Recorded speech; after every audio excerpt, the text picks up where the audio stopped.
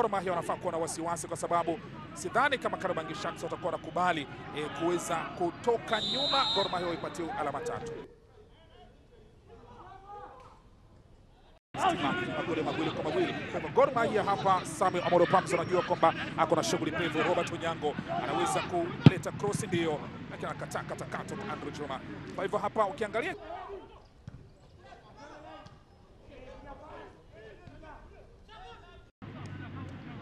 Aaron Shakava anasema tujipange vizuri, hapa ni sehemu hatari sana.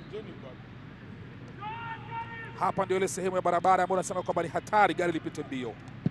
Robert ananyanyua pangu wa Gatmatius, cheza vizuri dhidi ya Gor Mahia.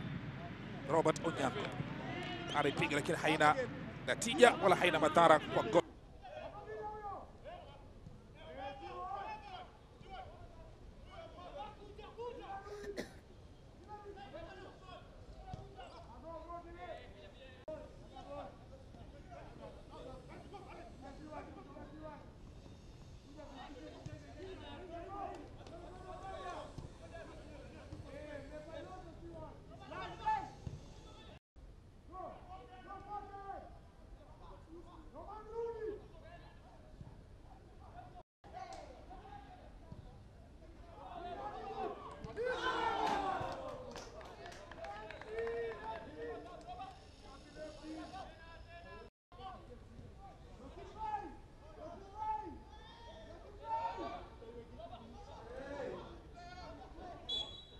Hapa.